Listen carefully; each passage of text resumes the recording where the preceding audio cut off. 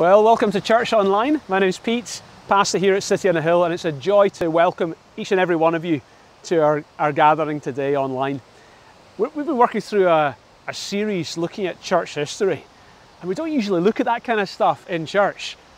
But to be honest, we've had 2,000 years of inspiring, incredible stories of what God has done down through the last two millennia. And the one thing that's consistent throughout the last 2,000 years is that God's used ordinary people like you, like me, people who are willing. And so today we're going to be diving back into our church history series, and I'm going to be talking to you about a particular man and the movement that he led. And I believe it will inspire you for what God wants to do in our generation. So, whether this is your first time with us or whether it's a regular experience, great to have you connecting. Let's pray that God will speak to us. Lord God, thank you so much that you're on the throne. Thank you, you love each and every person connecting. I pray as we take this time to now learn from history, I pray you'd speak to us, impact our lives, and inspire us with what you want, to, what, with what you want to do in our lives. And I pray for anyone connecting today who hasn't yet got a relationship with you, I pray that today they would connect with Jesus. In Jesus' name, amen. Let me start with a story. There was a, a, a, art thief and he broke into the Louvre in Paris. And it was an incredibly well planned theft. And he broke in and he managed to steal some Van Gogh, he stole some Monet paintings, and he stole some Degas paintings. And uh, everything was going according to his plan and he managed to get out with undetected and he got all the paintings into his van and he was driving away in his van and he only got two blocks and then he ran out of fuel. And so the police managed to catch him. They, they pulled him they, they, they was there and this pulled over a van and they said to him sir you, your, your plan was so clever. Your plan was so clever but you ran out of fuel. What happens? And he says i had no money to buy the gas to make the Van Gogh. anyway, what's that got to do with church history? Well, I'm going to talk to you about a man who actually in his early 20s or 19 years old, he, his life was changed in an art gallery looking at a painting. But before I take you to the story, let me read some verses which I think frame very well the life of Nicholas Ludwig von Zinzendorf. This is uh, what the Bible says in Hebrews chapter 12. Therefore, since we are surrounded with such a great cloud of witnesses, and I guess you could say that's like the 2,000 years of history we've had, great cloud of witnesses, let us throw off everything that hinders and the sin that so easily entangles us, and let us run with perseverance the race marked out for us, fixing our eyes on Jesus, the pioneer and perfecter of faith who for the joy set before him, he endured the cross, scorning its shame, and sat down at the right hands of the throne of God. Zinzendorf was born in, the in 1700s in Dresden in Germany. He was born into a wealthy, aristocratical family. He was converted at a young age, came to faith in Jesus, and from the get go, he was passionate about Jesus and wanted his life to make a difference. He went to study law at Wittenberg University, and when he'd finished studying law, aged 19, he took a trip through Europe to see some of the cultural highlights of Europe. And when he was on this trip through Europe, there he came to Dusseldorf Art Museum. And in the art museum, there was a painting there. And the painting was painted by Domenico Fetti, and the painting was entitled Ecce Homo, which means Behold the Man. The painting was of Jesus, and it's the, it's the moment when Jesus has been arrested. He's been mocked, he's been whipped, and he's been clothed in a purple robe, and he's now brought before the crowds, and Pilate says to the crowds, Behold the man. And this painting of Jesus, Zinzendorf is a 19 year old staring at this painting, and impacted by the thoughts of what Jesus was doing on our behalf. And underneath the painting, it had the words, I have done this for you. What have you done for me? And Zinzendorf was contemplating that thought. And, and this is, he, he records the prayer he prayed. And he said this I have loved him for a long time, but I've never actually done anything for him. From now on, I will do whatever he leads me to do. That's a bold prayer. From now on, I will do whatever he leads me to do. And I want to just stop there before I go into the rest of what happens next is amazing. But before I get into that, let me just say this. The verse we read says, fixing your eyes on Jesus, the author and perfecter of faith. And I want to say to you, if you're a believer today, or maybe today if you're not yet a believer, fix your eyes on Jesus. When you fix your eyes on Jesus, the one who died on that cross, I mean, look at the cross. What does that say to you? I mean, it says to me, there's a God in heaven who loves me so much. When I look at the cross, I think, God has done something for me. I'm not thinking, what can I do for God? I'm thinking, what has God done for me? And it's what God has done for me, and it's what God has done for you, and it's what God did for Zinzendorf that motivated him for the rest of his entire life. And, and the Bible says, fixing your eyes on Jesus, the author and perfecter of faith. It's that impact that that has. So I want to encourage you today, if you're not yet, maybe you're not yet there with God, and I encourage you today, why not make the greatest decision of your life and give yourself to Him who gave Himself for you? Trust Jesus to be your Saviour, forgive your sins, give you a new start, restore you into a relationship with God. But maybe you're a believer today and you know, you're hearing this message and you're hearing what Zinzendorf prayed. I will do whatever you ask me to do. From now on, I will do whatever you lead me to do. Why not take a moment to pray that prayer yourself? Say, say it together. From now on, I will do whatever He leads me to do. That's such a courageous prayer. From now on, I will do whatever He leads me to do. So, what happened next? Well, three years later, Zinzendorf inherited a very large estate in Berthelsdorf, 70 miles from Dresden. And he at the time was working for the government of Saxony. After inheriting this huge estate, his friend Christian Davids asked him if a number of Moravian refugees could come, a few families, and live on some of the land in his estate. Zinzendorf remembered the prayer he prayed Whatever you ask me to do, I will do. And he saw this as an outworking of that. So he said, Yeah.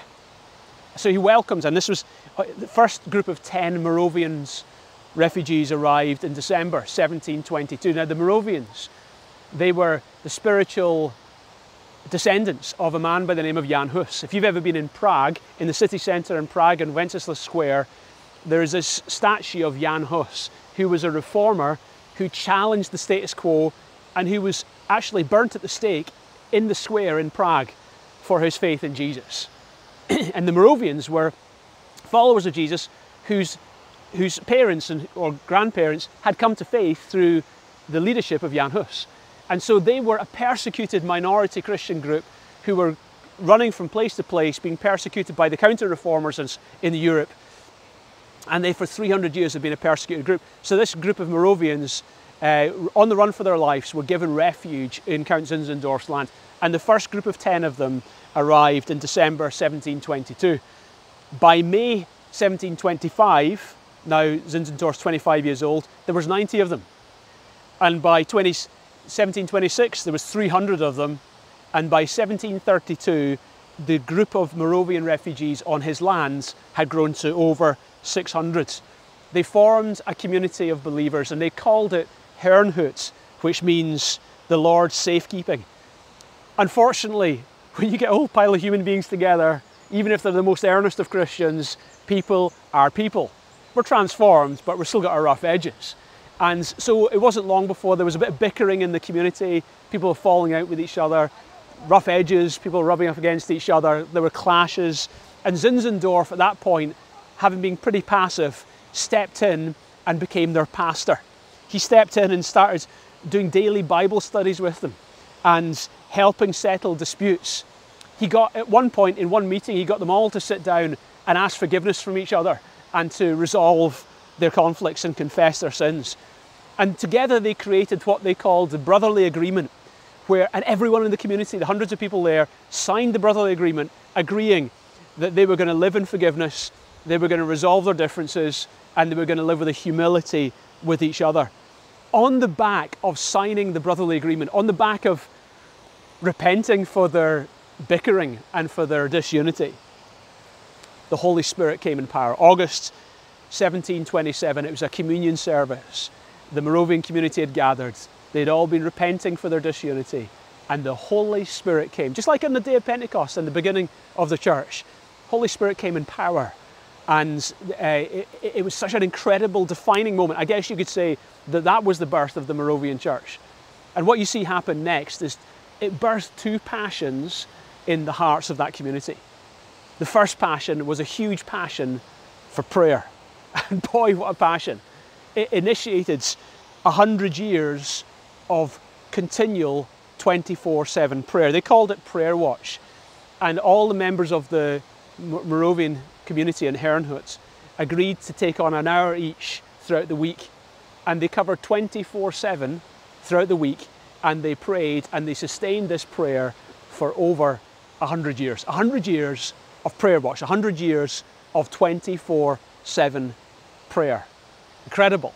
The other thing that was birthed was a passion for prayer and a passion for missions.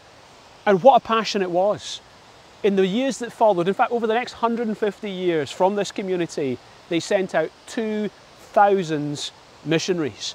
They sent missionaries to the Caribbean, to North and South America, to the Arctic. I mean, wow, are there even people there to reach? To Greenland, to Laplands, Turkey, Africa, and the Far East. It was, you could say, the first large scale Protestant missionary movement on earth.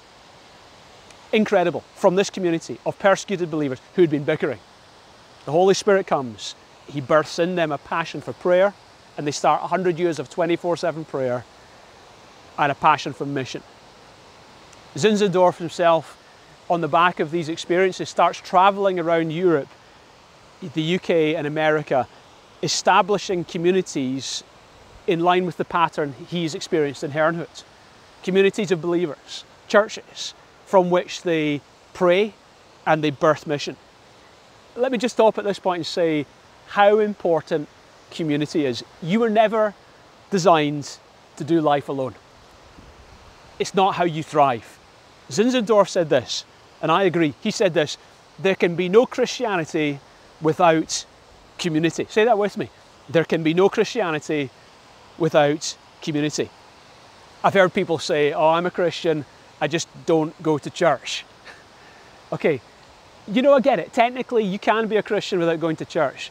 But the reality is, this is not God's best because Christian, because you are not, it's not how God designed it. You were designed to be in community. Yeah, you can technically live the Christian, I mean, you can't live the Christian life without being in community. I mean, you can sit at home with your Bible on your, on your sofa and not have any relationship with any other believers. I get it. But actually, God's best for you is you're in community. And it's in that environment you're changed, you're transformed, you're a blessing, you're blessed, you're challenged, you challenge, and you're sent out and you transform. We live once, and God has called us to be part of this thing called church. Church is the Greek word ecclesia, which means an assembly, a community, a gathering. And God wants you to be part of that. You know, you can't do the Christian life without church. You can be a Christian, but you can't do the Christian life without church. There are 59 one another's in the New Testament. You can't even live those unless you're in community. It says, love one another, be devoted to one another, honour one another, serve one another. If life was all just about you, then fine, do your Christianity by yourself. But you live once, God's got a big purpose and life is bigger than just you. God wants us to be in community, to be a blessing and to be blessed. Some people say, ah, but the church hurt me. It's full of hypocrites. Well, I agree, and you're one too, as am I. Of course, you're going to get hurt in church because it's full of people, and where you get people, you get problems. But you can't quit on what Jesus won't quit on. Jesus refuses to quit in the church, says we shouldn't either. You know, if you have car trouble, you don't stop driving. Or if your roof leaks, you don't abandon your house. Fix it. We deal with our issues and we move on. I remember seeing the headlines in a in an Israeli newspaper and in 2009 the, the headline in June 2009 was woman mistakenly junks $1 million mattress. And the story goes that this lady's daughter had seen her, her elderly mother in her lumpy mattress. I thought, that is not a nice mattress for my mother to be sleeping on. So one day when her mother was out, she thought she would bless her by buying her a new mattress and disposing of her old one. So the, the company came in, they took, got rid of the old mattress, and the new mattress was delivered. Um, only to discover later on when her elderly mother came home, she was freaking out because all about a million dollars was stashed in that old mattress. That's why it was so lumpy. and they dumped the mattress in this huge big uh, council dump on the outskirts of the town. And I mean, so the, the photograph in the newspaper showed this lady rummaging through the rubbish. But the chances of her finding it was pretty slim because every day 2,500 tons of rubbish is dumped on that dump. So, uh, but the point, what's, what's the point of the story? The point of the story is this. Sometimes a new generation dumps what an old generation valued. And the old, in the UK, we're seeing the decline of church, mostly the traditional church, but we're seeing the decline of church. But you know what? A new generation, listen, don't dump something that the old generation valued that has incredible value in it. Incredible value. There is colossal value to this old school cool thing called the local church. It's God's plan. Be part of God's plan. Be part of this community called the church. Zinzendorf said there can be no Christianity without community. And if you've been offended at church, work it out, resolve it. Maybe you need to repent. Maybe someone else needs to repent. But whatever happens, forgive and don't quit on church. The mission work was incredible. Let me tell you one of the stories that went out from the Moravian community. This was the mission to the slaves in the Caribbean. There was a man by the name of Anthony. He was a he was he had been a slave and he'd been bought from a slave owner in the Caribbean and he found his freedom in Europe and in Europe he came to faith in Jesus. And uh, he found his way to the Herrnhut, the Moravian community, and one evening he shared his story as a former slave with the Herrnhut community. And he told them of the plight of the African slaves in the Caribbean. He told them of the mistreatment. He told them how many of these African slaves, if, if they, even for a small crime, they would have their hand cut off or their foot cut off. The mistreatment was terrible. And most of the thousands of African slaves in the Caribbean had never heard about Jesus. And he was now a Christian looking on and thinking about his sister and his brother who was still there as slaves, thinking, who's going to tell my brother and sister? Many of them were involved in or affected by the witch doctors and the voodoo and had no authentic relationship with the Creator. And he was mourning their lostness. So, what that evening, as he was sharing with the Moravians, two particular Moravians in, the, in their 20s, um, two young men by the name of Leonard Dober and David Nitschmann, they couldn't sleep that night after hearing Anthony's testimony. And they woke up in the morning with a clear conviction that God was calling them to now go to the Caribbean, to the islands of St. Thomas and St. Croix, to reach the African slaves there in the Caribbean. The problem was the slaves were owned by an athe- British atheist slave owner who had vowed that no missionary would get near them. And this is what the atheist slave owner said. He said, he's sworn, no preacher, no clergyman will ever stay on the islands.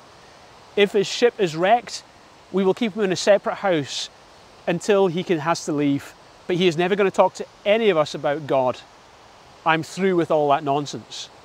And so he has 3,000 African slaves there in the middle of the Atlantic who were unable to hear about Jesus because he wasn't allowing anyone near. So these two young Moravians courageously, radically sold themselves into lifelong slavery to be slaves alongside the 3,000 African slaves in order to reach the slaves. That's what they did. And the story goes that they sold themselves into slavery, and with the money they got from the sale of themselves, they used that for a one way ticket to the Caribbean. And as the ship was leaving from Hamburg on the river, and many of the Moravian families were there waving them off and weeping as they saw them go, knowing this was probably the last time they would see them. they cried out to the people on the shore, and this is this is what they said, and this and this cry became the mantra, the mission statement of the Moravian missions in the years to come. They cried out, May the Lamb who is slain receive the reward of his suffering. That's what they cried to the people on the shore. And do you know what? I get it. I get that cry. I remember when I became a Christian. I remember I, I trusted Jesus as a 15 year old and I had a huge sense of relief. my sins are forgiven. I'm going to heaven. But then I remember it's almost like it shifted and it, do you know what? If I'm going to heaven, that's great. But what about all the thousands of people around me? And I figured I'm grateful that I'm going to heaven, but I want to take as many people with me as possible. So I, I remember as a teenager, I became a bit radical. I remember one, one of my free periods at, at high school, I made a whole lot of posters with Bible verses on them. In the free periods, when the corridors were quiet, I went round and stuck them up all over the school.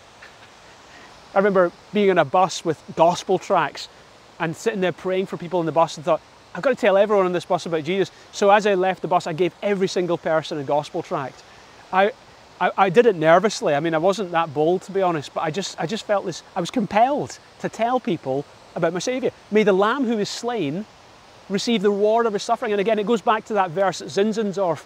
He, it says, uh, he fixes eyes on Jesus, the author and finisher of his faith. Zinzendorf was motivated by the cross.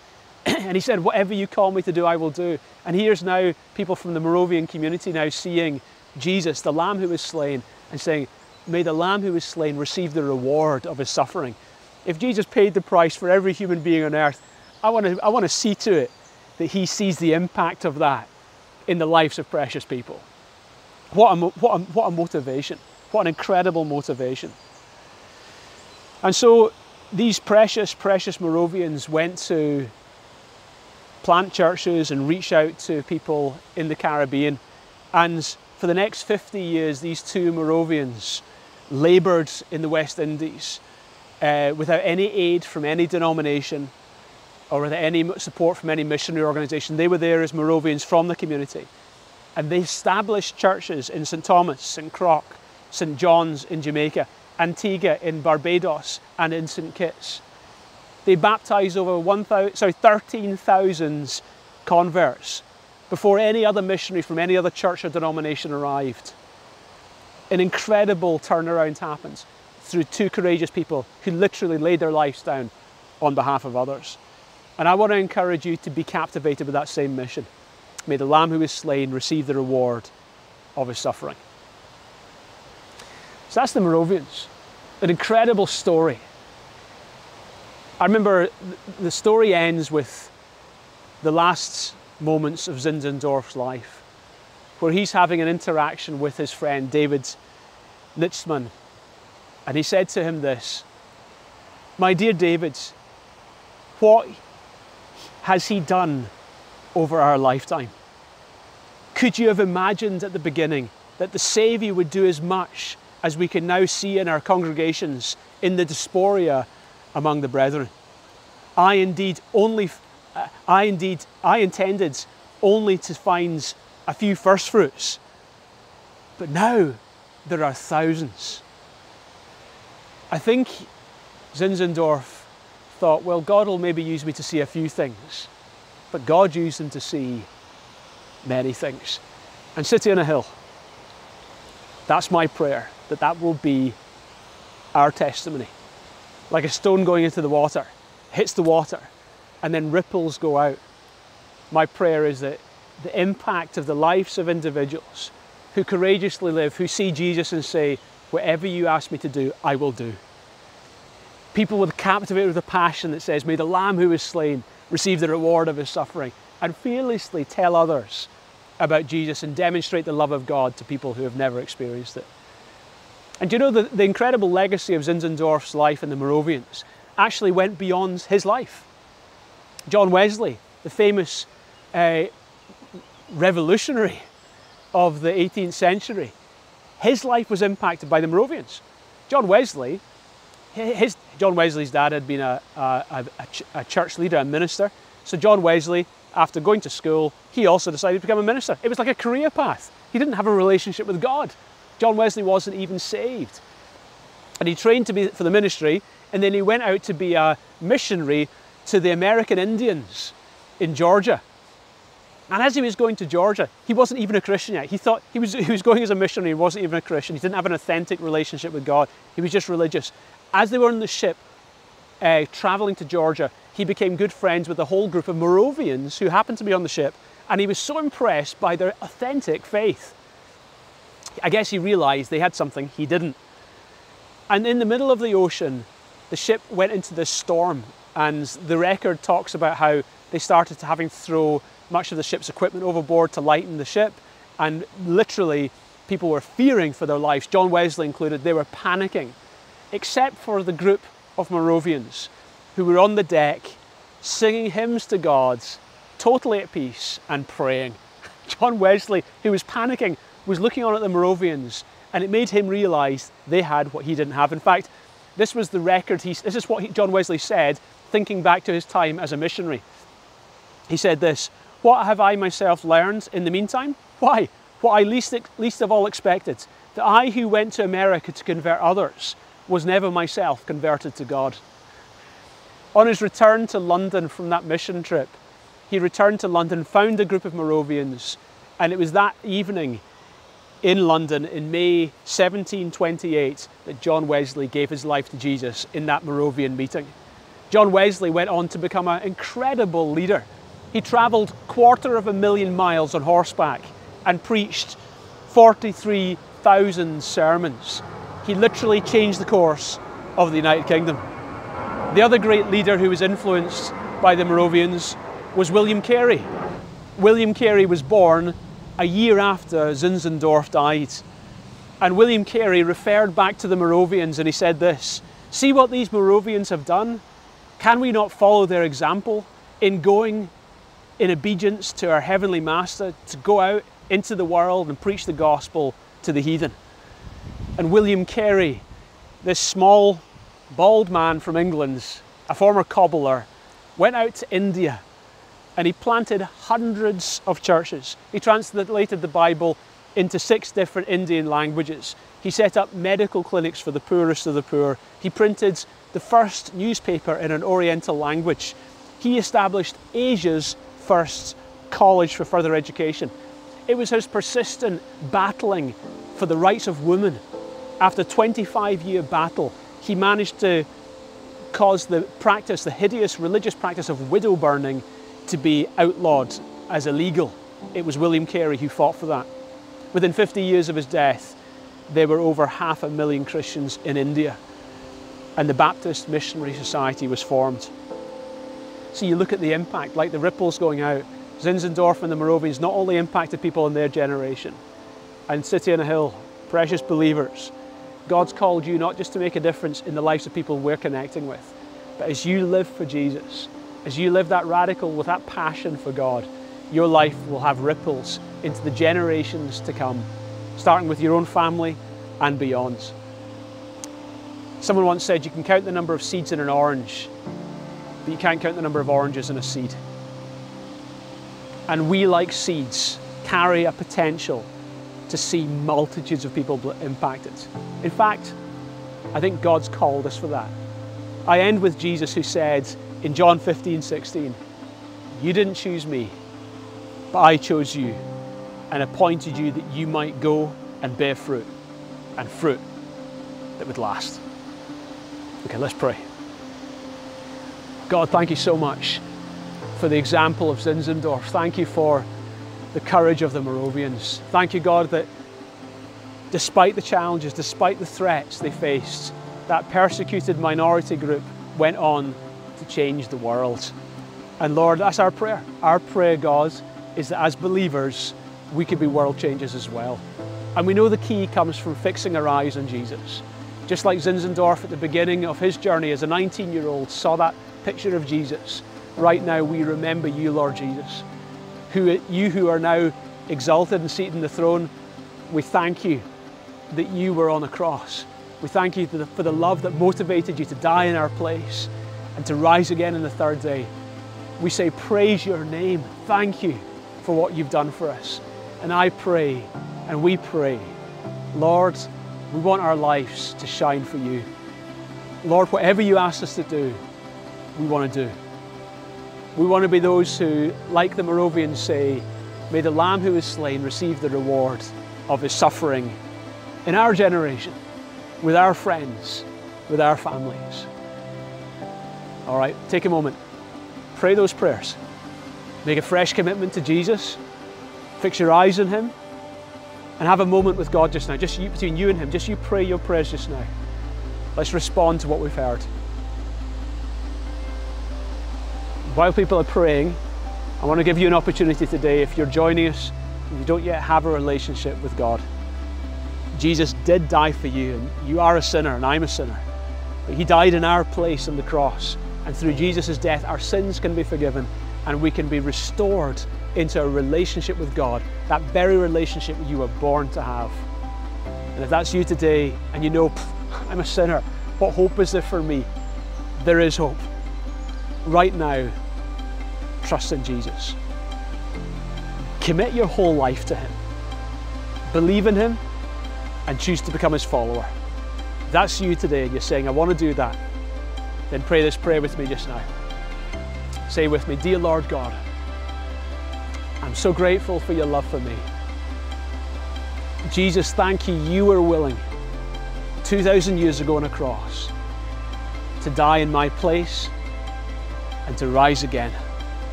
I believe you're alive right now.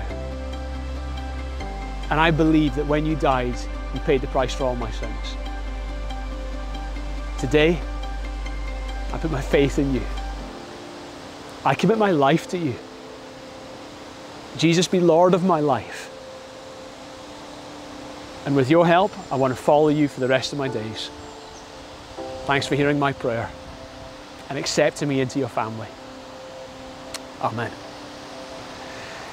God has heard your prayer. And so if you made that decision just there, please could you let us know you did that? Email us or contact us at, at, at City on a Hill. We want to do everything we can to help you grow in this new faith you've got.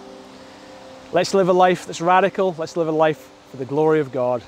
Let's leave an impact in our generation. God bless.